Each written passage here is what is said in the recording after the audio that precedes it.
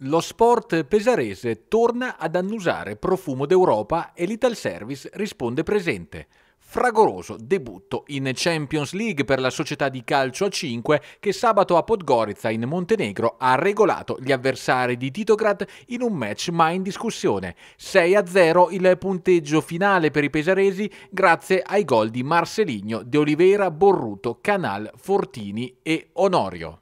Prestazioni buone, secondo, secondo me abbiamo dominato tutta la partita dall'inizio alla fine e questo è quello che volevamo fare, non volevamo portare la partita al secondo tempo o magari alla fine de, della partita per non rischiare, quindi bravi a tutti, bravi a tutti noi, complimenti a tutti perché abbiamo fatto tutto quello che volevamo fare. Siete stati bravi anche nel secondo tempo a partita chiusa a quel punto a rimanere calmi e non è così scontato perché loro erano diventati abbastanza aggressivi, quindi magari vi potevano tendere una trappola a livello di reazioni, di, di cartellini, eccetera, eccetera.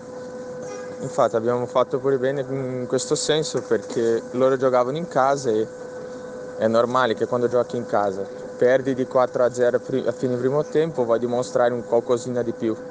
Però diciamo che siamo abituati perché l'anno scorso pure succedeva qualche volta, poi in Champions cambia molto il regolamento, i fali sono più aggressivi, gli arbitri lasciano un po' più scorrere la partita, però abbiamo fatto bene dal primo minuto alla fine.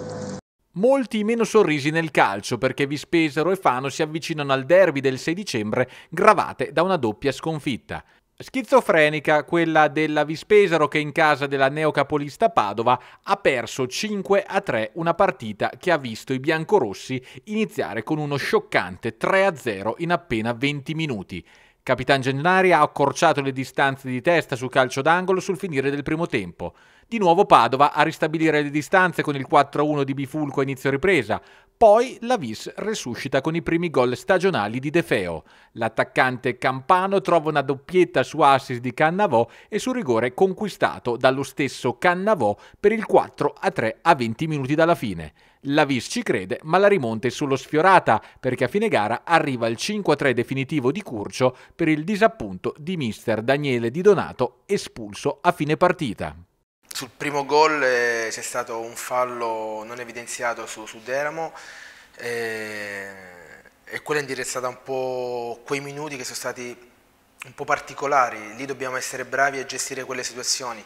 Poi anche sul eh, terzo gol c'era il fallo su Cannavò e per non parlare del quinto gol che c'era un altro fallo. Purtroppo eh, quando non si vedono questi falli grandi eh, contro squadre importanti come il Padova si rischia di prendere gol e così è stato. Eh, io penso che la, mm, che la Vispesa, a prescindere da tutti, merita, merita rispetto a prescindere da, eh, dalla squadra che ha di fronte, può avere anche la Juve, ma eh, in quel momento eh, siamo eh, disputando la stessa categoria e quindi merita assoluto rispetto. Oltre questo eh, c'è stata una grande reazione de, de, de, dei ragazzi che hanno, eh, hanno, fatto, hanno, cercato in tutti i modi di, di raddrizzare una partita nata, nata male. Eh, ci stavamo riuscendo perché a 9 minuti alla fine sul 4-3 stavamo spingendo tanto e, e il Padova il secondo tempo mm, non ricordo di, di, che oltre il gol, non, oltre la metà campo non è mai, non è mai arrivata. peccato appunto quel, quell'errore nuovo errore arbitrale sul quinto gol che ci ha tagliato le gambe, però i ragazzi hanno fatto una prestazione importante e hanno cercato in tutti i modi appunto di raddrizzare una, una partita nata male. Male la vis, malissimo l'Alma Juventus Fano che perde ancora e arriva al derby di Pesaro da ultima in classifica dopo il sorpasso dell'Arezzo e dire che il Fano si era illuso col gol di Baldini dopo 8 minuti di gara.